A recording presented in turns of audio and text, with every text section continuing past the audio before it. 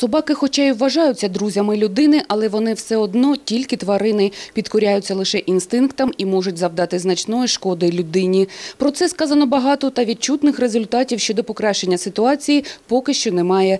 До того ж, єдиний законний і найбільш дієвий спосіб вирішити проблему – це відлов та стерилізація тварин. Днями такі роботи проводилися у селищі Родинському та Красноармійську. Это южный район детского садика, Лазурный, это рынок э, и район магазина Лазурит, а, по улице Артема. А, То есть, э, к сожалению, не со всеми заявителями нам э, мы смогли связаться, потому что рабочий день, работа. Вот. Но э, эти все адреса мы отработали. Э, Не могу сказать, что все на 100% успешно, потому что собаки это, понятно, животные, которые передвигаются.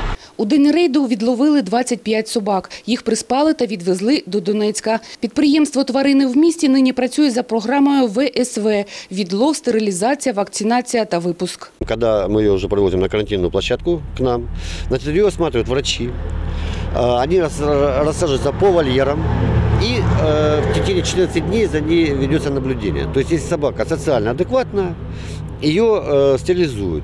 После стерилизации собака э, проходит полный курс прививок, Єдиною проблемою у відлові бродячих тварин є те, що це підприємство одне в Донецькій області, і три бригади не встигають обслуговувати міста так швидко, як це хотілося б нам, жителям. До того ж і коштує це немало. Відлов однієї собаки обходиться бюджету у 150 гривень.